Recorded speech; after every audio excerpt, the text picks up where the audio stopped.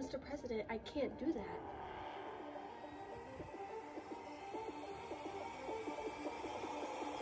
I think it's trying to kill me, but I will kill it.